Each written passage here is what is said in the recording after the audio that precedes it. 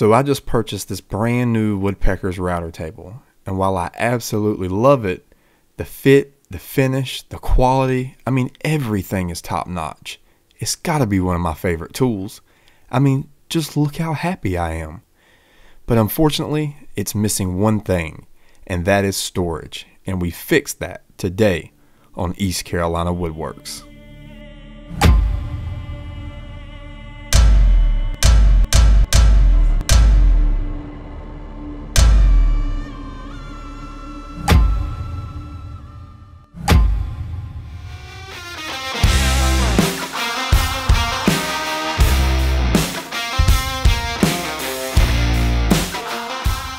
What's going on everybody? Welcome back to the channel. Bringing you guys another video that I'm super excited about. We are going to be tackling the router table.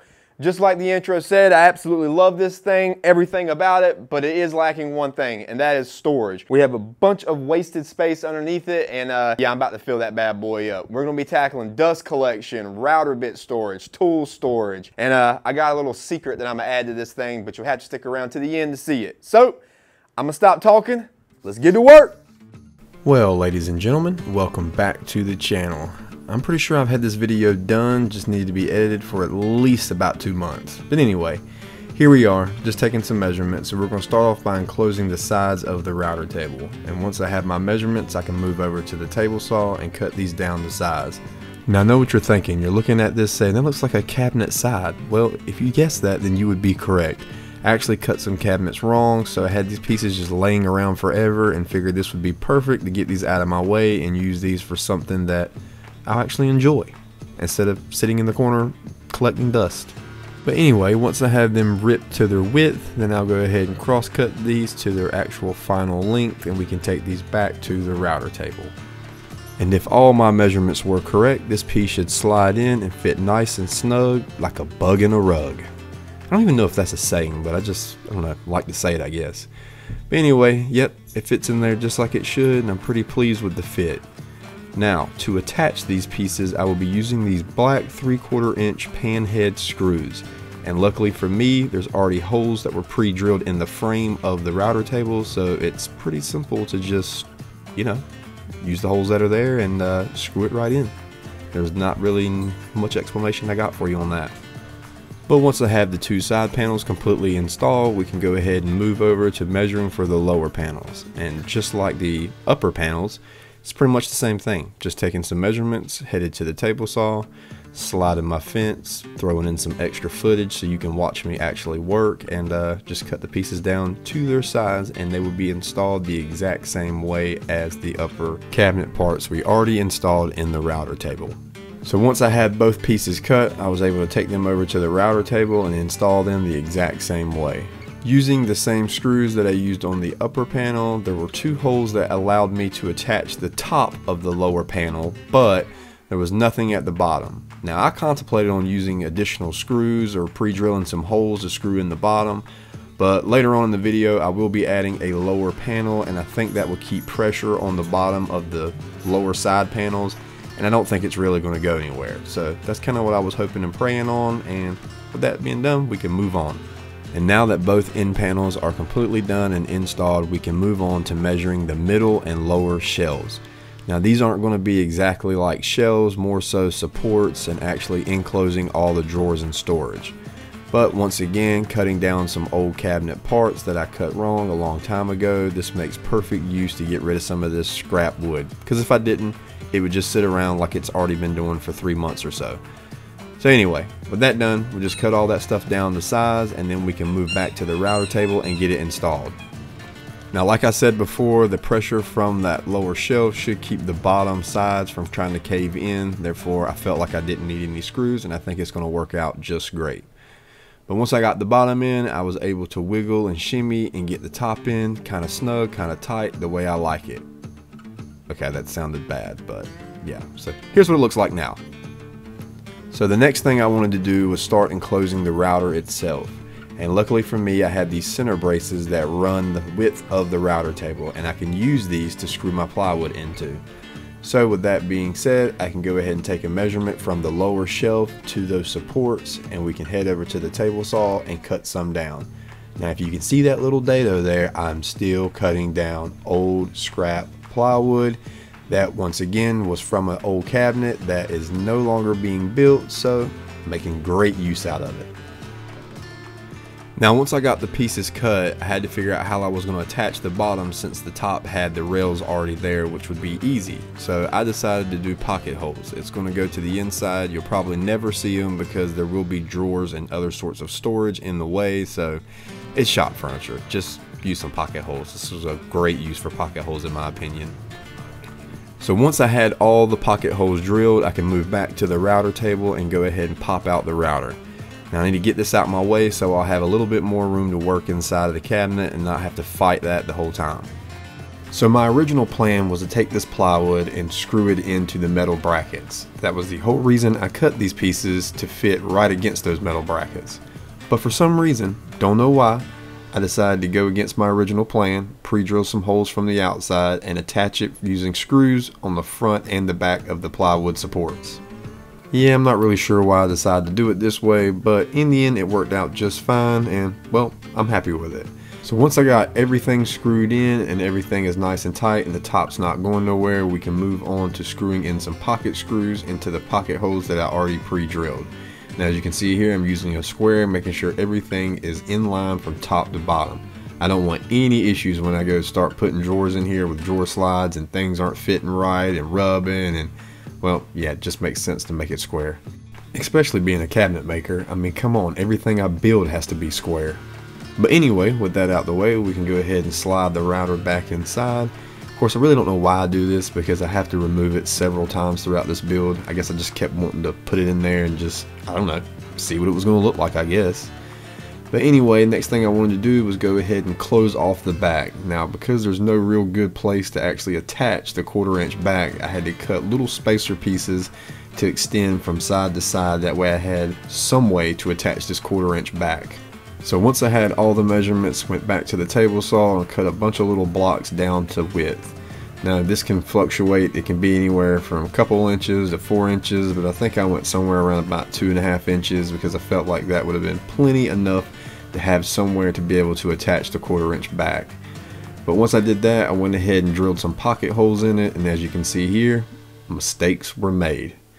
For some reason I get so fast and get ahead of myself and well, I just cut things wrong. I'm only human. But there you go. So that's what it should look like. So now I have all those pieces in there and I actually have somewhere where I can nail the back panel into. Now we can go ahead and take measurements. This will be in two separate sections. I'll have a top section that goes down to the middle black rail and then there will also be a lower section that goes below the middle shelf. As you can see how I'm measuring, that's how they will be cut. And once I have all those measurements taken down, I can go back to the table saw and rip these pieces to their size. And once I have all those pieces ripped to the size, well, I think you know what comes next. Gotta install them. And just like that, we have the top portion cut and as you can see, it fits right between the top and middle rail. And I just attach this using some 18 gauge brad nails. And do the same exact thing to the bottom using some, I think, inch and a quarter maybe, maybe inch and a half brad nails, not really sure. But anyway, next thing we can do is move on to getting ready to install drawer slides. Now as you just saw in that clip, there is a space between the rail and the side panel. So I had to cut some little supports or some spacer pieces to kind of fill that out so I can attach drawer slides that will be flush with the frame of the router table. Ooh, that was a lot to say in that one clip. I almost got tongue tied, but I made it. Whew. As you see here, just cutting these down the size and then I'll take these back to the router table and apply some wood glue along with some CA glue. I was really hoping I'd be able to get a drill in there and run some screws. It would have been a lot easier, but unfortunately that space was way too tight and even a 90 degree attachment for a drill would not allow me to get in there easily. I tried, tried several ways, and uh, yeah, it was not going to work. So I relied on the CA glue to actually hold the piece there while the wood glue set up. But anyway, once that was done, we can start installing our drawer slides. And you can see that I have a 3 quarter inch piece of plywood on the bottom to set the space for the drawer slide. Now I just attach these to the sides, going from front to back, making sure I set them back about a 32nd of an inch because I want the drawer box to sit just inside the frame. So after I got all my drawer slides installed, I realized there was this little bit of space underneath the router. And I figured I didn't need all that space for the router itself, so why not add another drawer underneath it? Since this is my router table and you know, I want plenty of storage, I figured, well, let's just go for it. So I added some pieces to the side doing a dry test fit to make sure everything is going to look good. And once I'm satisfied, I'll do the same thing that I did on the sides. I'll use some wood glue, use some CA glue with some accelerator to attach the sides where my drawer slides will actually be screwed into. And then we can go ahead and install the drawer slides the same way we did all the other drawer slides and then I'll attach the top. And God, just look at that router table. Oh boy, I can't wait to put this thing to use. But still got a lot of work, so let's keep moving forward. Now that we have all that done, we can go ahead and start taking some measurements for the actual router bit storage drawers. Now I'm sure you've seen plenty of YouTube videos and there are several ways to make these drawers. But because I got something new inside the shop, I decided to put my wits to the test and try using this Inventables X-Carve Pro CNC machine. Now as you can see here, it's drilling a bunch of big 3 quarter inch holes in this piece of plywood and then it's going to cut it out into the exact size of the drawer that I need. Now I know this doesn't make a lot of sense right now, but if you stick around and keep watching, you will see exactly how this thing works. I will have to say, having this tool in the shop is going to be super handy. I mean, anything you can think of, design it in their software and just watch this machine go to work. Now, I know what you're thinking. What's going in those holes? Well, this is what's going in those holes. I also 3D print these router bit collets. They are awesome and I have to give a huge shout out to Travis over there at Shop Nation for getting me into 3D printing. Because I too now have two Prusas that, well, constantly keep working around the clock. It's like having an employee that you don't have to pay. Well, you do have to actually pay them at least one time because you got to buy the machines. But anyway, I printed a bunch of these little router bit collets. Now I actually did design these and as you can see they fit into the holes like so. Don't know why I decided to go with this pattern, I just thought it looked cool. But what's neat about these are they have a taper design that actually holds a quarter inch shank along with a half inch shank and it's a friction fit so it's snug it fits in there it's nice it's secure it's not going nowhere but also very easy to pull out you don't have to stress yourself out but once I had all those printed and I think I had somewhere around like I don't know 66 of them I think I might have printed I went to town putting all these in the drawer parts that I cut out using the CNC now once I had all that done, I had to figure out how I wanted to construct this drawer. Now, to be 100% honest, I had no idea how I was going to do this. So the first step I decided to take was cut down pieces on the miter saw. Now I did know that this drawer needed to have sides so I could mount my drawer slides to it. And I knew that I wanted the router bit tray to sit in the center of the side rails. So I used a spacer block to put underneath it, that way it would line up right in the center. And once I was happy with the fit, then I could move over to spreading some glue and attach it using some inch and a half 18 gauge brad nails.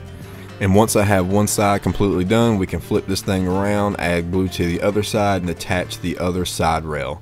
So in these drawers, I decided to just do two trays worth of router bit storage. And then on the bottom tray will be pretty much empty to just house wrenches or just any little things that I might need for the router table itself. And as you can see here, you got two trays that hold router bits and then the bottom tray is just empty. Like I said to hold extra router bits or anything that I may just need to throw at the bottom. So there will be two sets of these three tier drawers.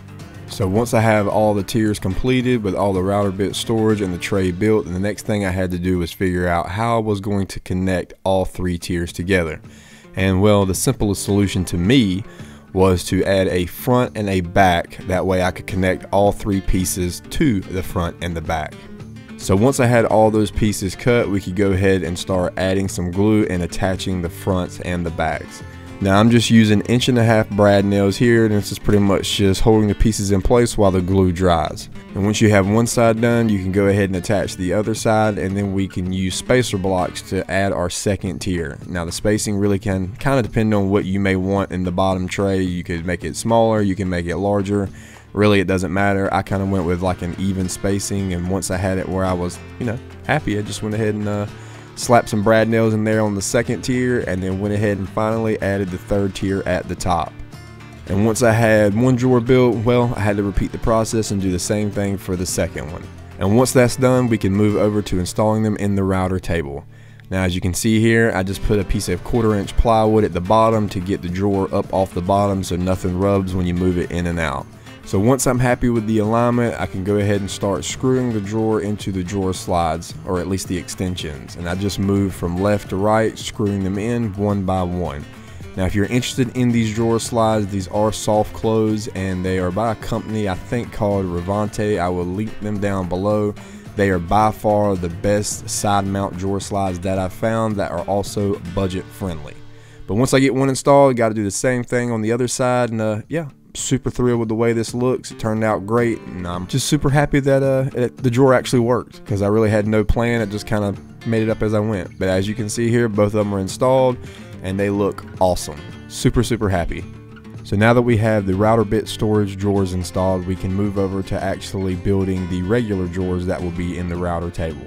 Now I don't want to spend a whole lot of time on building drawer boxes because I do have a in-depth video that I will link above. You can check that video out if you want to see how I build drawer boxes. This uh, this might be slightly actually a little different because I do typically use three quarter inch material and use pocket holes, but pretty much the same method. Uh, the only difference is here I'm going to be using brad nails to join this because I'm only using half inch plywood. But once I have everything cut down to its size, I'll take everything back to the table saw and cut a dado groove in the bottom of every single piece to house the bottom panel. Now a lot of times you need to sneak up on the cut, so I usually run one pass, move the fence, and well, do it again. But once I have that completely done, I'll add some glue and then brad nails to hold this box together. And as you can see, the back piece is a little bit shorter, so it will allow the bottom panel to slide right past it, and I can shoot some brad nails in it. But anyway, if you want to check out that video, I'll link it up below. You can go check out how I build in-depth drawer boxes. Everything is the exact same, except I use pocket holes for joinery. And once I have all the drawer boxes completely done, we can move over to installing them in the actual router table. Now once again, I'm using quarter inch strips on the bottom to keep the drawer off the base of the cabinet. Now I also have a video that's all about installing drawer boxes along with drawer faces. I'll link that as well if you want an in-depth review on that.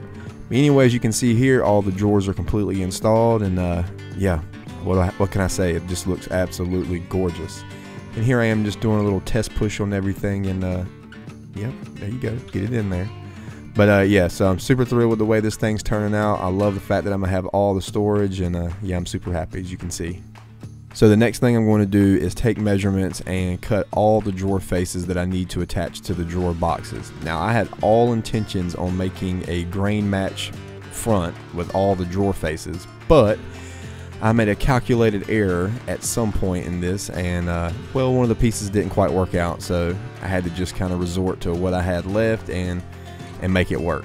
But anyway, so all I pretty much did was cut down a large square or a large rectangle and cut that into several smaller rectangles for the drawer faces. Now, once again, I made an error, so I had to end up cutting another piece, and as you can see here, the very first piece I went to put up, I could see that I was short or it wasn't quite wide enough. And yeah, you know, it happens, but I had to resort to cutting more pieces and unfortunately the grain is not all going to match. But anyway, I'm not going to let that slow me down. It's shop furniture and it's still going to look great. Now, I have been a huge fan of True Position tools. This jig right here is by far the best jig when it comes to installing drawer hardware and True Position was actually kind enough to send me a second set for completely free that I will be giving out to one of my subscribers, so make sure you subscribe. But once I have the jig set up, I can go ahead and pre-drill holes. Now I'm not going to install the pool just yet because I'm going to use these holes to actually attach it to the drawer box. Now once again, my drawer box video or drawer installation video is very detailed on how I do this process. So if you want to watch that video, it will be linked down below. You can go check it out. But anyway, using the holes that we pre-drilled, we can run screws in through the face and attach it to the drawer box. And once we have the drawer face attached to the drawer box, we can run screws from the back of the drawer box into the drawer face. I know that's a lot to take in, trust me, it was hard saying it. But once the drawer face is secured to the drawer box, we can take out the drawer screws and then go ahead and drill all the way through the drawer box. And then we can attach our handle. Simple as that. It's a super easy process. It makes installing drawer faces really easy. Once again, I got a video all on this, how I do this process. It will be linked down below. And man, look at that router table. Oh boy, I cannot wait to put this thing to use. But we're still not done, so let's keep on moving forward. Next thing I had to do is figure out how I was going to cover up where the actual router was, because eventually I'm going to put dust collection in here and I need to kind of seal it off. So the first part in this process is going to be cutting a bunch of furring strips to kind of make a box or a rectangle inside the area where the router is. And that'll make a lot more sense here in just a minute when the camera goes back over there. Okay, here we are. So yeah, as you can see here, I've cut these furring strips that go on the top and the bottom and I'll be installing these using pocket holes. It was very tight. I probably wish I would have used some other method to do it. I'm struggling as you can see here, but eventually I do get it done. And once I have the top piece installed, then we can add glue and do the same thing to the bottom. Now I'm pretty sure here I elected to use brad nails because it was a lot easier. Yeah, yeah, there I am. Yep, using some brad nails. But anyway, once I have the top and the bottom done, I can measure and cut out for the side pieces. And once I had those pieces cut, we'll pretty much install them the exact same way, nice and tight, little friction fit, and then we'll be using a brad nail to attach those just like we did the bottom. Now I think I'm using inch and a half brad nails here. I didn't want them to shoot out the other side and this piece was I think three quarters of an inch thick and the rest of it was three quarters so yeah no issue there. These actually may be called nailer strips, not really sure. But anyway, you get the point. So anyway, I'm gonna go ahead and take some measurements and I wanted to seal this off, but I didn't want to put a piece of wood there and kind of, you know, you want to show off the router, it looks cooler. Or at least that's what all the other content creators do, so I just wanted to follow suit. But anyway, I decided to go with some quarter inch plexiglass, and as you can see here, I'm pretty excited for some reason. And I do want to point out right here that I am using safety glasses. Now, once you cut this plexiglass stuff, little pieces go flying everywhere. And when I mean everywhere, I mean everywhere. Look at all the pieces just going crazy. I even had the dust collector on, and it's just spitting these pieces out at me like 100 miles an hour. And they hurt. They hurt my wrists, they hurt my forearms, and uh, yeah, not really a huge fan of cutting this stuff. But next I had to figure out how I was going to attach this. I didn't want to just run screws through it. I wanted to make it super easy to get to the router when I need to change the speed. So in my mind, the only solution that would work would be magnets. So I'm using a Forstner bit here to drill a hole for the magnets to sit inside.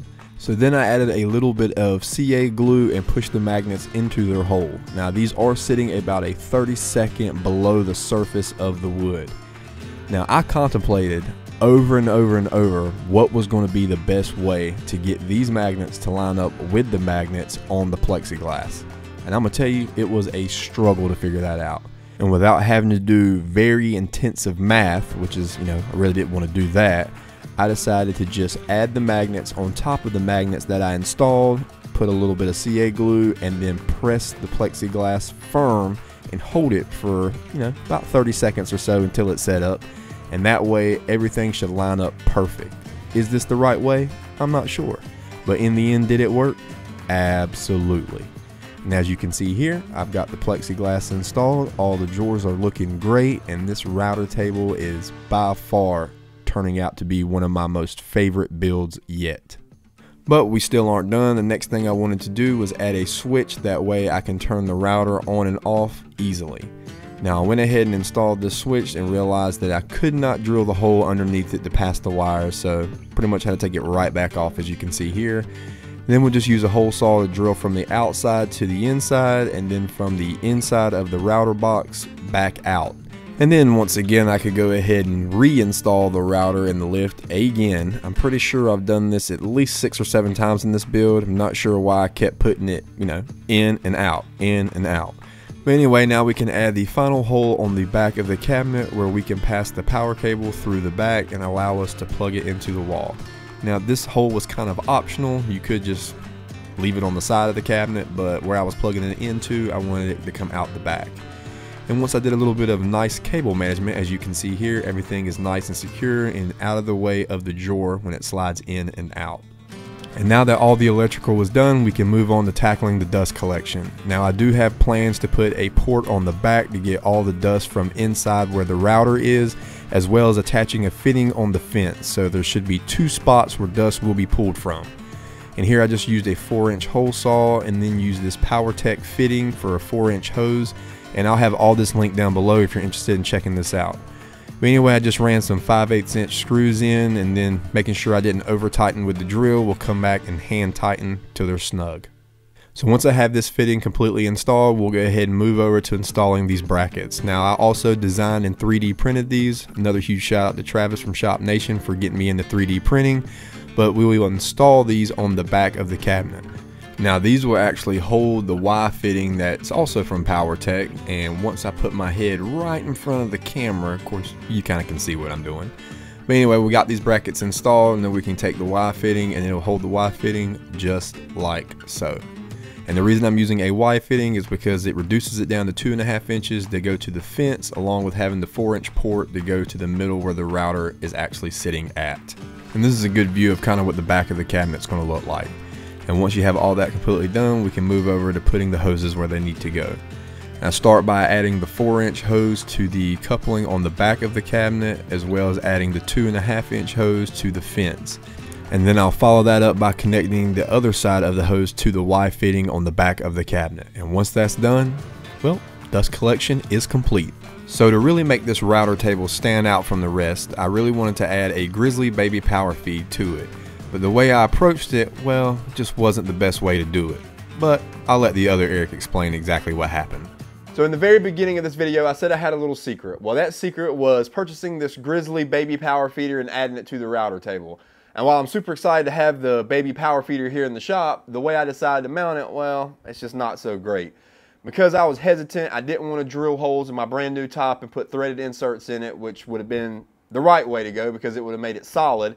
I mounted a bracket on the back that I kind of fabricated out of wood and plywood and I recorded that whole process, but to me there was just no point in putting it in the video because it's not that great. It actually allows the power feeder to flex whenever wood's going through it or when it's pulling against the bit, and it just doesn't keep constant pressure on the piece of wood through the router bit. So I'm gonna go ahead and just take that completely out of the video. I'm not gonna show that because I will go back and probably drill holes in the top and put threaded inserts and mount it the right way that I should have done it from the beginning.